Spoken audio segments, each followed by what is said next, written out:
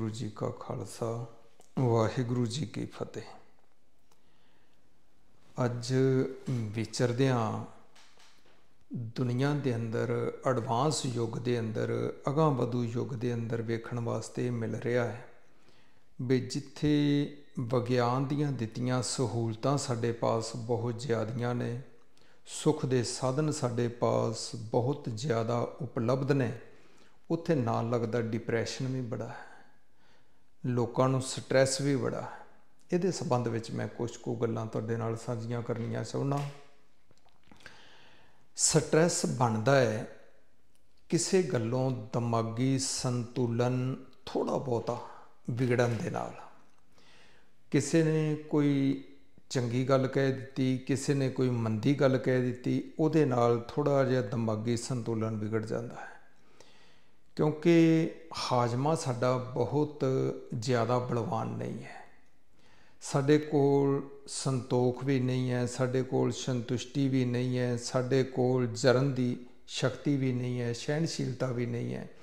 ਸਾਨੂੰ ਭੜਕਾਉਣ ਵਾਸਤੇ ਕੋਈ ਮਾਮੂਲੀ ਜੀ ਗੱਲ ਬੇਸ਼ੱਕ ਝੂਠੀ ਹੋਵੇ, ਉਹ ਕਹਿ ਦਵੇ ਤੇ ਅਸੀਂ ਆਪੇ ਤੋਂ ਬਾਹਰ ਹੋ ਜੰਨੇ ਆ ਫਿਰ ਉਸ ਗੱਲ ਨੂੰ ਆਪਣੇ ਅੰਦਰ ਜਗ੍ਹਾ ਦੇ ਦਿੰਨੇ ਆ ਉਸ ਗੱਲ ਨੂੰ ਵਾਰ-ਵਾਰ ਆਪਣੇ ਅੰਦਰ ਮਾਲਾ ਬਣਾ ਕੇ ਚਲਾਉਨੇ ਆ ਉਹਨੂੰ ਰਿਪੀਟ ਕਰਦੇ ਰਹਿੰਦੇ ਆਪਣੇ ਅੰਦਰ ਕਮਾਈ ਜਾਂਦੇ ਆ ਉਹ ਤੁਹਾਡੇ ਖਾਣ ਦਾ ਸਵਾਦ ਖਾ ਜਾਂਦੀ ਹੈ, ਉਹ ਤੁਹਾਡੇ ਪਹਿਨਣ ਦਾ ਸਵਾਦ ਖਾ ਜਾਂਦੀ ਹੈ, ਤੁਹਾਡੇ ਰਹਿਣ ਸਹਿਣ ਦਾ ਸਵਾਦ ਮਾਰਿਆ ਜਾਂਦਾ ਹੈ ਤੇ ਸਹਿਜੇ ਸਹਿਜੇ ਉਸ ਗੱਲ ਦਾ ਪ੍ਰਭਾਵ ਇੰਨਾ ਜ਼ਿਆਦਾ ਪੈ ਜਾਂਦਾ ਹੈ ਵੀ ਤੁਸੀਂ ਡਿਪਰੈਸ਼ਨ ਦੇ ਅੰਦਰ ਚਲੇ ਜਾਂਦੇ ਆ ਕਿਉਂਕਿ ਸੰਤੁਲਨ ਵਿਗੜਦਾ ਵਿਗੜਦਾ ਵਿਗੜ ਹੀ ਜਾਂਦਾ ਹੈ। ਕਿਧਰੇ ਰੋਡ ਤੇ ਚੱਲਦਿਆਂ ਹੋਇਆਂ ਕਿਸੇ ਕਾਰ ਦਾ, ਮੋਟਰ ਦਾ ਸੰਤੁਲਨ ਵਿਗੜ ਜਾਏ ਨਾ, ਤੇ ਉਹਨੂੰ ਸੰਭਲਣਾ ਔਖਾ ਹੋ ਜਾਂਦਾ ਹੈ। ਔਰ ਜਿੰਨਾ ਸਮਾਂ ਸੰਤੁਲਨ ਬਣਿਆ ਰਹਿੰਦਾ ਹੈ, ਡਰਾਈਵ ਸਹੀ ਢੰਗ ਨਾਲ ਕਰਦੇ ਰਹਿੰਦੇ ਆ, ਪਰ ਮਾਮੂਲੀ ਜਿਹਾ ਕਿਧਰੇ ਟਾਇਰ ਫਿਸਲ ਗਏ, ਬਰਸਾਤ ਦੇ ਕਾਰਨ, ਸਨੋ ਦੇ ਕਾਰਨ, ਕਿਸੇ ਹੋਰ ਕਾਰਨ, ਤੇ ਫਿਰ ਉਹ ਸੰਤੁਲਨ ਜਦੋਂ ਵਿਗੜਦਾ ਹੈ ਨਾ, ਤੇ ਉਹ ਕਦੇ-ਕਦੇ ਮੌਤ ਸਾਹਮਣੇ ਲਿਆ ਕੇ ਖੜੀ ਕਰ ਦਿੰਦਾ ਹੈ। ਕਦੇ-ਕਦੇ ਉੱਥੋਂ ਤੱਕ ਵੀ ਪਹੁੰਚ ਬਣ ਜਾਂਦੀ ਵੀ ਬੰਦੇ ਨੂੰ ਮਰਨਾ ਹੀ ਪੈਂਦਾ ਤੇ ਕਹਿ ਦਿੰਦੇ ਨੇ ਐਕਸੀਡੈਂਟ ਦੇ ਅੰਦਰ ਫਲਾਣੇ ਫਲਾਣੇ ਦੇ ਨਾਲ ਆ ਹੈਪਨ ਹੋਇਆ ਕਿਉਂਕਿ ਸੰਤੁਲਨ ਵਿਗੜ ਗਿਆ, ਕਾਰ ਦਾ ਸੰਤੁਲਨ ਵਿਗੜ ਗਿਆ।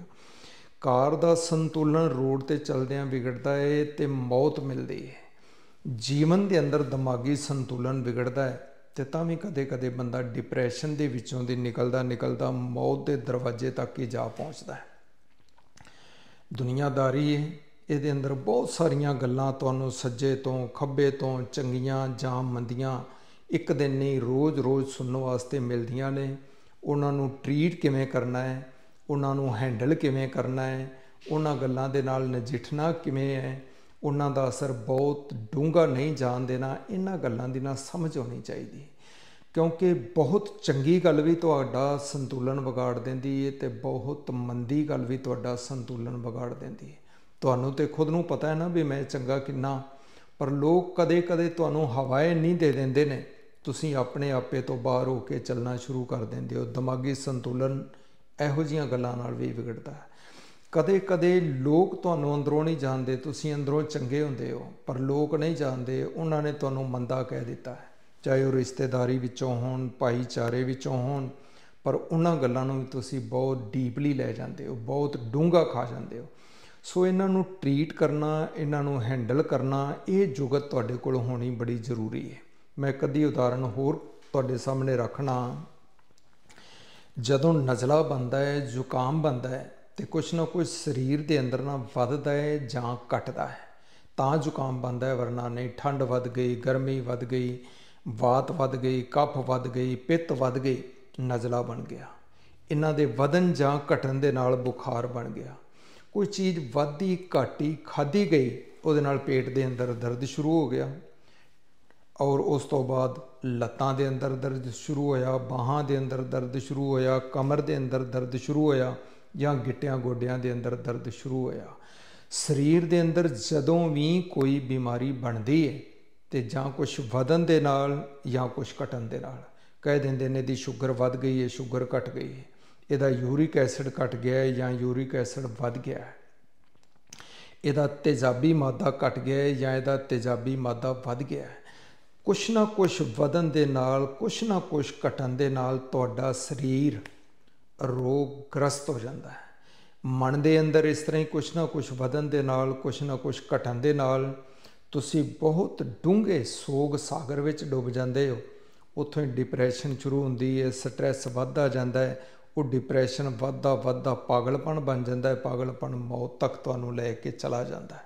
ਸੋ ਕੁਝ ਨੁਕਤੇ ਨੇ, ਤੁਹਾਡੇ ਸਾਹਮਣੇ ਮੈਂ ਇੱਕ ਇੱਕ ਕਰਕੇ ਰੱਖਣ ਦਾ ਯਤਨ ਕਰਦਾ ਰਹਾਂਗਾ ਵੀ ਆਪਾਂ ਡਿਪਰੈਸ਼ਨ ਤੋਂ ਆਪਣਾ ਆਪਾ ਬਚਾ ਬਚਾ ਕਿਵੇਂ ਕਰਨਾ ਹੈ। ਹੁਣ ਸਭ ਤੋਂ ਪਹਿਲਾਂ ਇਹ ਹੈ ਕਿ ਸਾਡੇ ਪੀੜਾ ਕਰਨ ਦੀ ਇੱਕ ਲਿਮਟ ਹੈ। ਸਾਡੇ ਸਰੀਰ ਦੇ ਦਰਦ ਨੂੰ ਸਹਿਣ ਕਰਨ ਦੀ, ਪੀੜਾ ਨੂੰ ਸਹਿਣ ਕਰਨ ਦੀ ਇੱਕ ਸੀਮਾ ਹੈ। ਸੀਮਾ ਦੇ ਬਾਹਰ ਜਾ ਕੇ ਅਸੀਂ ਦਰਦ ਨੂੰ ਸਹਿਣ ਨਹੀਂ ਕਰ ਸਕਦੇ।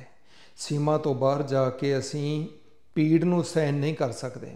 ਇਹੀ ਕਾਰਨ ਹੈ ਕਿ ਜਦੋਂ ਕਿਸੇ ਡਾਕਟਰ ਨੇ ਸਾਡੇ ਸਰੀਰ ਦੇ ਕਿਸੇ ਅੰਗ ਦਾ ਆਪਰੇਸ਼ਨ ਕਰਨਾ ਹੁੰਦਾ ਹੈ, ਚੀਰ ਫਾੜ ਕਰਨਾ ਹੁੰਦਾ ਹੈ, ਕੱਟ ਵੱਢ ਕਰਨੀ ਹੁੰਦੀ ਹੈ ਜਾਂ ਉਹਨੂੰ ਸਟਿਚਿੰਗ ਕਰਨਾ ਹੁੰਦਾ ਹੈ, ਤੇ ਉਹ ਸਾਡੇ ਸਰੀਰ ਦੇ ਉਸ ਹਿੱਸੇ ਨੂੰ ਸੁੰਨ ਕਰ ਦਿੰਦਾ ਹੈ। ਜਾਂ ਫਿਰ ਐਵੇਂ ਕਹਿ ਲਓ ਵੀ ਸਾਨੂੰ ਪੂਰੀ ਤਰ੍ਹਾਂ ਬੇਹੋਸ਼ ਡਾਕਟਰ ਪਹਿਲਾਂ ਕਰ ਲੈਂਦੇ ਨੇ, ਉਸ ਤੋਂ ਬਾਅਦ ਸਾਡੇ ਸਰੀਰ ਦੇ ਨਾਲ ਚੀਰ ਫਾੜ ਹੁੰਦੀ ਹੈ ਆਪਰੇਸ਼ਨ ਹੁੰਦਾ ਹੈ ਜਾਂ ਉਸ ਤੋਂ ਬਾਅਦ ਟਾਂਕੇ ਲਾਏ ਜਾਂਦੇ ਨੇ। ਉਹਦਾ ਕਾਰਨ ਇੱਕ ਹੈ ਵੀ ਇਹ ਦਰਦ ਨੂੰ ਸਹਿਣ ਨਹੀਂ ਕਰ ਪਾਏਗਾ, ਤੜਫੇਗਾ ਔਰ ਜੋ ਅਸੀਂ ਕੰਮ ਕਰਨਾ ਹੈ, ਉਹਦੇ ਅੰਦਰ ਇਹਨਾਂ ਥੋੜੀ ਜਿਹੀ ਦਿੱਕਤ ਪੇਸ਼ ਲਿਆ ਸਕਦਾ ਹੈ, ਕਰ ਸਕਦਾ ਹੈ। ਸੋ ਇਸ ਕਰਕੇ ਡਾਕਟਰ ਸਾਨੂੰ ਆਪਰੇਸ਼ਨ ਕਰਨ ਤੋਂ ਪਹਿਲਾਂ ਬੇਹੋਸ਼ੀ ਦਾ ਇੰਜੈਕਸ਼ਨ ਦੇ ਕੇ ਬੇਹੋਸ਼ ਕਰ ਦਿੰਦੇ ਨੇ। ਇਹ ਸਰੀਰ ਦੀ ਗੱਲ ਸਾਡੇ ਮਨ ਦੇ ਪਾਸ ਵੀ ਸੋਗਾਂ ਨੂੰ ਸਹਿਣ ਕਰਨ ਦੀ ਕੋਈ ਅਸਹਿ ਸਮਰੱਥਾ ਨਹੀਂ ਹੈ। ਕੋਈ ਬਹੁਤ ਵੱਡੀ ਤਾਦਾਦ ਵਿੱਚ, ਬਹੁਤ ਵੱਡੀ ਮਾਤਰਾ ਵਿੱਚ ਸਾਡੇ ਮਨ ਦੇ ਕੋਲ ਸੋਗ ਸਹਿਣ ਕਰਨ ਦੀ ਲਿਮਟ ਨਹੀਂ ਹੈ। ਇੱਕ ਸੀਮਾ ਦੇ ਅੰਦਰ ਹੀ ਸੋਗ ਸਹਿਣ ਹੁੰਦੇ ਨੇ। ਜਦੋਂ ਉਹ ਸੋਗ ਸਹਿਣ ਨਾ ਹੋਣ, ਸਹਿਣਸ਼ੀਲਤਾ ਬਹੁਤ ਘੱਟ ਹੈ ਸੋਗ ਬਹੁਤ ਵੱਧਦੇ ਜਾ ਰਹੇ ਨੇ, ਹਰ ਰੋਜ਼ ਵੱਧਦੇ ਜਾ ਰਹੇ ਨੇ, ਕਿਉਂਕਿ ਬਾਣੀ ਨਾਲੋਂ ਟੁੱਟੇ ਆ। ਸਿੱਧੇ ਰਾਹ ਚੱਲਣ ਦਾ ਤਹਈਆ ਨਹੀਂ ਕਰਦੇ। ਹਰ ਰੋਜ਼ ਸਾਨੂੰ ਸੋਗੀ ਹੋਣ ਵਾਸਤੇ ਸਮਾਂ ਮਿਲਦਾ ਹੈ। ਪਰ ਹਰ ਰੋਜ਼ ਸਾਨੂੰ ਨਰੋਇਆ ਹੋਣ ਵਾਸਤੇ ਸਮਾਂ ਨਹੀਂ ਮਿਲ ਰਿਹਾ। ਅਸੀਂ ਜੀਵਨ ਦੀ ਚਾਲ ਬਣਾਈ ਇਦਾਂ ਦੀ ਲਈ ਹੈ। ਸੋਗ ਵੱਧਦੇ ਜਾ ਰਹੇ ਨੇ ਔਰ ਪੈਰੋ ਪੈਰ ਵੱਧਦੇ ਜਾ ਰਹੇ ਨੇ। ਉਹਨਾਂ ਦਾ ਇਲਾਜ ਕਰਨ ਦੀ ਬਜਾਏ ਅਸੀਂ ਉਹਨਾਂ ਨੂੰ ਹੋਰ ਵਧਾਉਣ ਵਿੱਚ ਹੀ ਸੋਗਾਂ ਨੂੰ ਵਧਾਉਣ ਵਿੱਚ ਹੀ ਮਦਦਗਾਰ ਆ ਆਪਣੇ ਹੱਥੀਂ ਹੀ ਫਾਹ ਵੱਟ ਕੇ, ਰੱਸੀ ਵੱਟ ਕੇ ਆਪਣੇ ਗਲ ਵਿੱਚ ਪਾ ਰਹੇ ਆ ਆਪਣੇ ਹੱਥੀਂ ਆਪਣੀ ਮੌਤ ਨੂੰ ਬੁਲਾਵਾ ਦੇ ਰਹੇ ਆ ਖੈਰ, ਤੋਂ ਮੈਂ ਅਰਜ਼ ਕਰ ਰਿਹਾ ਸਾਂ ਕਿ ਸਾਡੇ ਮਨ ਦੇ ਪਾਸ ਵੀ ਪੀੜਾ ਨੂੰ, ਸੋਗ ਨੂੰ ਝੱਲਣ ਦੀ ਇੱਕ ਤਾਕਤ ਹੈ ਸਮਰੱਥਾ ਹੈ। ਜਦੋਂ ਉਹ ਸੋਗ ਬਹੁਤ ਜ਼ਿਆਦਾ ਵੱਧ ਜਾਂਦੇ ਨੇ, ਝੱਲੇ ਨਹੀਂ ਜਾਂਦੇ, ਪੀੜਾ ਬਰਦਾਸ਼ਤ ਨਹੀਂ ਹੁੰਦੀ, ਫਿਰ ਉਹ ਹੀ ਅੱਗੇ ਸਟ੍ਰੈਸ ਬਣ ਜਾਂਦੇ ਨੇ, ਉਹ ਹੀ ਅੱਗੇ ਡਿਪਰੈਸ਼ਨ ਬਣ ਜਾਂਦੇ ਨੇ। ਹੁਣ ਉਸ ਡਿਪਰੈਸ਼ਨ ਤੋਂ ਨਿਕਲਣ ਦਾ ਰਾਹ ਸੀ, ਜਾਂ ਤੇ ਕੋਈ ਸੁਚੱਜਾ ਸਾਥੀ ਸਾਨੂੰ ਮਿਲਦਾ, ਚੰਗਾ ਐਡਵਾਈਜ਼ਰ ਮਿਲਦਾ, ਜਾਂ ਫਿਰ ਗੁਰੂ ਗ੍ਰੰਥ ਸਾਹਿਬ ਦੀ ਬਾਣੀ ਦੇ ਨਾਲ ਸਾਡਾ ਤਾਲਮੇਲ ਬਣਿਆ ਹੁੰਦਾ। ਔਰ ਉਹ ਵੀ ਅਰਥਾਂ ਸਹਿਤ, ਕਿਉਂਕਿ ਉਸ ਤਰ੍ਹਾਂ ਬਾਣੀ ਪੜ੍ਹੀ ਜਾਓ, ਗੁਰੂ ਜੀ ਕਹਿ ਕੀ ਰਹੇ ਨੇ, ਗੱਲ ਪੱਲੇ ਨਹੀਂ ਪੈਣੀ। ਜਿੰਨਾ ਸਮਾਂ ਅਰਥਾਂ ਸਹਿਤ ਗੁਰਬਾਣੀ ਨੂੰ ਨਹੀਂ ਪੜੋਗੇ ਗੁਰਬਾਣੀ ਦੀ ਸਮਝ ਹੀ ਨਹੀਂ ਪੈਗੀ ਵੀ ਗੁਰੂ ਜੀ ਕਹਿ ਕੀ ਰਹੇ ਨੇ। ਗੁਰਬਾਣੀ ਇਸ ਕਰਕੇ ਨਹੀਂ ਕਿ ਨਿਤ ਉਠੋ ਜਪਜੀ ਸਾਹਿਬ ਦਾ ਪਾਠ ਕਰ ਲਓ, ਕਿਸੇ ਹੋਰ ਬਾਣੀ ਦਾ ਪਾਠ ਕਰ ਲਓ, ਪਰ ਅੱਖਰ ਇੱਕ ਵੀ ਪੱਲੇ ਨਾ ਪਵੇ ਵੀ ਗੁਰੂ ਜੀ ਰੋਕਦੇ ਕਿਹੜੇ ਰਾਹ ਤੋਂ ਨੇ ਗੁਰੂ ਜੀ ਤੋਰਦੇ ਕਿਹੜੇ ਰਾਹ ਤੇ ਨੇ। ਇਸ ਕਰਕੇ ਮੈਂ ਵਾਰ-ਵਾਰ ਤਾਕੀਦ ਕਰਦਾ ਹੁੰਨਾ ਕਿ ਇੱਕ ਸ਼ਬਦ ਇੱਕ ਵੀਕ ਦੇ ਅੰਦਰ, ਇੱਕ ਸ਼ਬਦ 10 ਦਿਨਾਂ ਦੇ ਅੰਦਰ 15 ਦਿਨਾਂ ਦੇ ਅੰਦਰ ਜਾਂ ਮਹੀਨੇ ਦੇ ਅੰਦਰ ਪੜ ਲਿਆ ਕਰੋ। ਤੇ ਅਰਥਾਂ ਸਮੇਤ ਪੜ ਲਿਆ ਕਰੋ, ਤਾਂ ਕਿ ਤੁਹਾਨੂੰ ਸਮਝ ਬਣੇ ਕਿ ਗੁਰੂ ਗ੍ਰੰਥ ਸਾਹਿਬ ਪਾਤਸ਼ਾਹ ਸਾਨੂੰ ਤੋਰ ਕਿਹੜੇ ਰਾਹ ਤੇ ਰਹੇ ਨੇ। ਅਸੀਂ ਤੁਰ ਕਿਹੜੇ ਰਾਹ ਤੇ ਰਹੇ ਹਾਂ? ਜਾ ਰਹੇ ਹਾਂ ਉਲਟੇ ਪਾਸੇ ਨੂੰ। ਅਤਰਾਜ ਗੁਰੂ ਨੂੰ ਦੇ ਰਹੇ ਹਾਂ, ਜੀ, ਤੇਰੀ ਮੈਂ ਬਾਣੀ ਤੇ ਪੜਦਾ ਫਿਰ ਮੇਰੇ ਰੋਗ ਤੇ ਸੋਗ ਪਤਾ ਨਹੀਂ ਕਿਉਂ ਵੱਧਦੇ ਜਾ ਰਹੇ ਨੇ। ਖੈਰ, ਉਹ ਜਿਹੜੇ ਵਧੇ ਹੋਏ ਸੋਗ ਨੇ, ਉਹ ਸਾਡੇ ਡਿਪਰੈਸ਼ਨ ਦਾ ਨਾ ਕਾਰਨ ਬਣ ਜਾਂਦੇ ਨੇ। ਹੁਣ ਨੰਬਰ 2 ਦੇ ਉੱਤੇ। ਜੇ ਕੋਈ ਚਿੰਤਾ, ਜੇ ਕੋਈ ਚਿੰਤਾ ਵਾਲੀ ਗੱਲ ਸਾਡੇ ਮਨ ਦੇ ਬਹੁਤ ਗਹਿਰੀ ਉਤਰ ਜਾਂਦੀ ਹੈ ਉਹ ਮੈਂ ਪਹਿਲਾਂ ਅਰਜ਼ ਕਰ ਚੁੱਕਾ ਵੀ ਡਿਪਰੈਸ਼ਨ ਬਣ ਜਾਂਦੀ ਹੈ। ਤੇ ਕਦੇ-ਕਦੇ ਮਨ ਦਾ ਪਿਆਲਾ ਇੰਨਾ ਜ਼ਿਆਦਾ ਭਰ ਜਾਂਦਾ ਹੈ, ਉਹਨਾਂ ਆਮ ਗੱਲਾਂ ਦੇ ਨਾਲ, ਨਗੂਣੀਆਂ ਜੀਆਂ ਗੱਲਾਂ ਦੇ ਨਾਲ ਇਹਦੇ ਤੋਂ ਭਾਰ ਚੁੱਕਿਆ ਹੀ ਨਹੀਂ ਜਾਂਦਾ। ਤੇ ਉਹ ਨਾ ਭਾਰ ਚੁੱਕਣ ਕਰਕੇ ਫਿਰ ਉਹ ਸਾਡੇ ਸਰੀਰ ਵਿੱਚੋਂ ਵੀ ਕੋਈ ਨਾ ਕੋਈ ਬਿਮਾਰੀ ਬਣ ਕੇ ਬਾਹਰ ਆਉਂਦਾ ਹੈ। ਨੰਬਰ 1 ਦੇ ਉੱਤੇ ਸੋਗ ਅੰਦਰ ਬਣਦੇ ਨੇ, ਉਹ ਸੋਗ ਹੀ ਸਹਿਜੇ ਸਹਿਜੇ ਫਿਰ ਰੋਗ ਬਣ ਜਾਂਦੇ ਨੇ। ਮਨ ਕੋਲੋਂ ਜਦੋਂ, ਮਨ ਦੇ ਪਿਆਲੇ ਕੋਲੋਂ ਜਦੋਂ ਸੋਗਾਂ ਦਾ ਭਾਰ ਨਹੀਂ ਚੱਕਿਆ ਜਾਂਦਾ, ਫਿਰ ਉਹ ਆਪਣੇ ਸਾਥੀ ਨੂੰ, ਸਰੀਰ ਨੂੰ, ਆਪਣੇ ਸਾਥੀ ਤਨ ਨੂੰ ਇਹ ਭਾਰ ਦੇ ਦਿੰਦਾ ਹੈ। ਤੇ ਉਹ ਜਿਹੜਾ ਸੋਗ ਹੈ, ਉਹ ਫਿਰ ਸਰੀਰ ਦੇ ਵਿੱਚੋਂ ਕੋਈ ਨਾ ਕੋਈ ਰੋਗ ਬਣ ਕੇ ਬਾਹਰ ਆ ਜਾਂਦਾ ਹੈ। ਇਸ ਕਰਕੇ ਵੇਖ ਰਹੇ ਹਾਂ, ਸਰੀਰ ਰੋਗਾਂ ਦੇ ਨਾਲ ਭਰਿਆ ਹੈ। ਤੇ ਮਨ ਸੋਗਾਂ ਦੇ ਨਾਲ ਭਰਿਆ ਹੈ। ਔਰ ਦੋਵੇਂ ਨੇ ਜਗਤ ਦੇ ਅੰਦਰ ਵੇਖ ਹੀ ਰਹੇ ਹਾਂ। ਬੁੱਢਿਆਂ ਦੇ ਵੀ, ਜਵਾਨਾਂ ਦੇ ਵੀ ਤੇ ਕਮਾਲ ਦੀ ਗੱਲ ਤੇ ਹੈ ਵੀ ਬੱਚਿਆਂ ਦੇ ਵੀ ਵੇਖ ਰਹੇ ਹਾਂ। ਰੋਗੀ ਵੀ ਵੇਖ ਰਹੇ ਹਾਂ, ਸੋਗੀ ਵੀ ਵੇਖ ਰਹੇ ਹਾਂ। ਬੱਚੇ ਵੀ ਡਿਪਰੈਸ਼ਨ ਦੇ ਅੰਦਰ ਨੇ, ਹੱਦ ਹੋ ਗਈ। ਹੁਣ ਕਦੇ-ਕਦੇ ਡਿਪਰੈਸ਼ਨ ਇੰਨਾ ਵੱਧ ਜਾਂਦਾ ਹੈ। ਕਦੇ-ਕਦੇ ਡਿਪਰੈਸ਼ਨ ਇਸ ਲਿਮਟ ਤੱਕ ਹੱਦ ਤੱਕ ਚਲਾ ਜਾਂਦਾ ਹੈ। ਵੀ ਬੰਦਾ ਦੂਜੇ ਨੂੰ, ਭਾਵੇਂ ਉਹ ਪਰਿਵਾਰ ਦਾ ਮੈਂਬਰ ਹੋਵੇ, ਸੱਜਣ ਮਿੱਤਰ ਹੋਵੇ, ਭਾਈਚਾਰੇ ਵਿੱਚੋਂ ਹੋਵੇ, ਉਹ ਦੂਜੇ ਨੂੰ ਕਹਿਣਾ ਸ਼ੁਰੂ ਕਰ ਦਿੰਦਾ ਵੀ ਮੈਨੂੰ ਇਕੱਲਿਆਂ ਰਹਿਣ ਦੇ।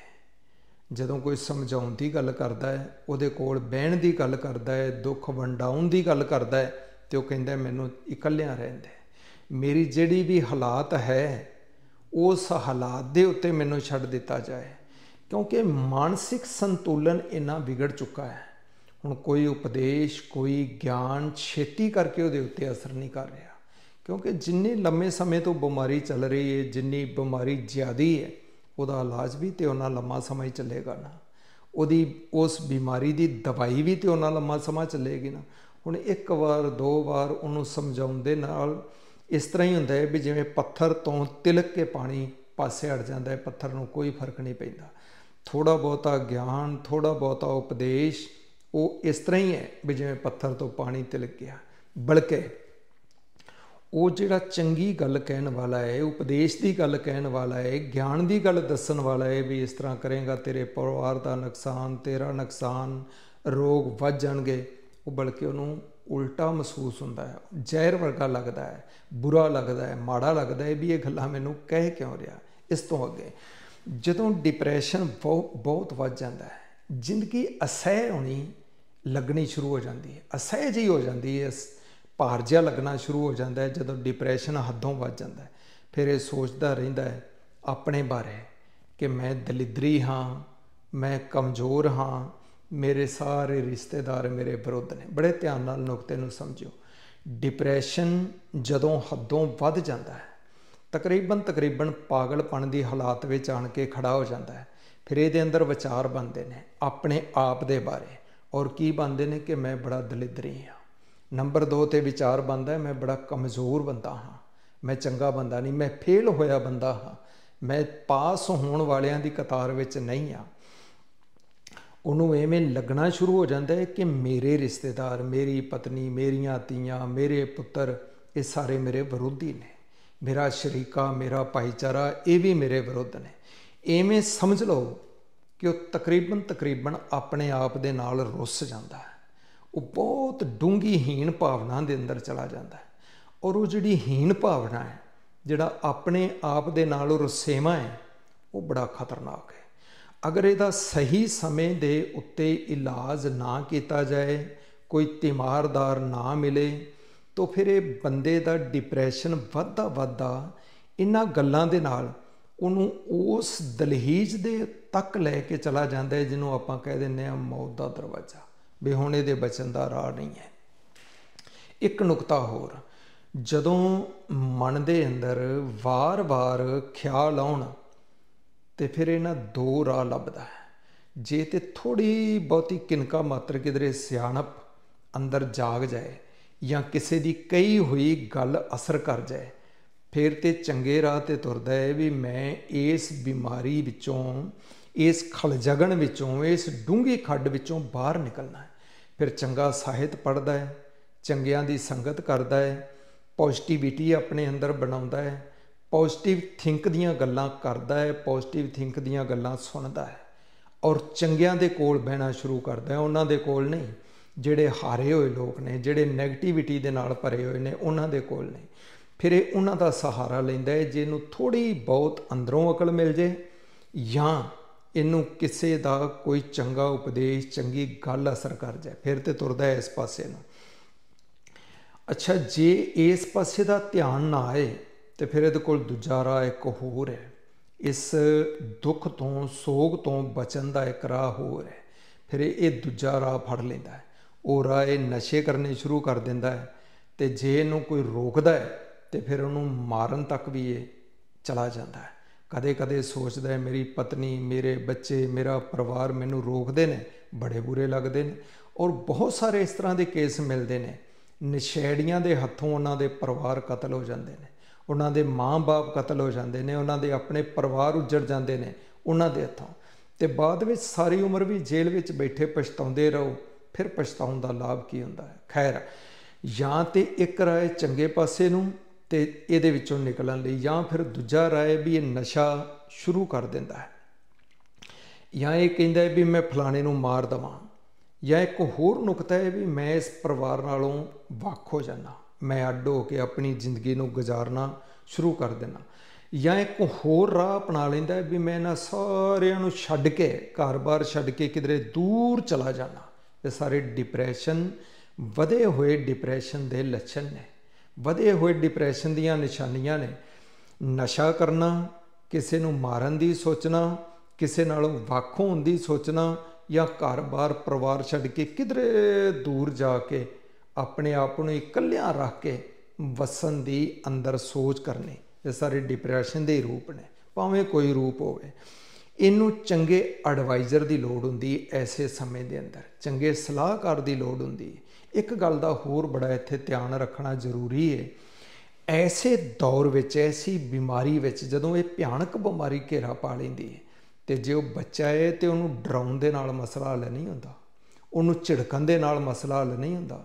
ਜੇ ਉਹ ਜਵਾਨ ਵੀ ਹੈ ਤੇ ਉਹਨੂੰ ਵੀ ਡਰਾਉਣ ਜਾਂ ਝਿੜਕਣ ਦੇ ਨਾਲ ਮਸਲਾ ਹੱਲ ਨਹੀਂ ਹੁੰਦਾ, ਸਗੋਂ ਜ਼ਿਆਦਾ ਉਲਝ ਜਾਂਦਾ ਹੈ ਇਸ ਕਰਕੇ ਜੇ ਤੁਸੀਂ ਆਪਣਾ ਭਲਾ, ਆਪਣੇ ਪਰਿਵਾਰ ਦਾ ਭਲਾ ਆਪਣੇ ਸੱਜਣਾ, ਮਿੱਤਰਾਂ, ਭੈਣ ਭਰਾਵਾਂ ਦਾ ਭਲਾ ਚਾਹੁੰਦੇ ਹੋ ਤੇ ਇਸ ਸਥਿਤੀ ਵਿੱਚ ਕਿਸੇ ਨੂੰ ਵੇਖਦੇ ਹੋ ਤੇ ਸਮਝ ਜਾਓ ਵੀ ਡਿਪਰੈਸ਼ਨ ਦਾ ਮਰੀਜ਼ ਹੈ।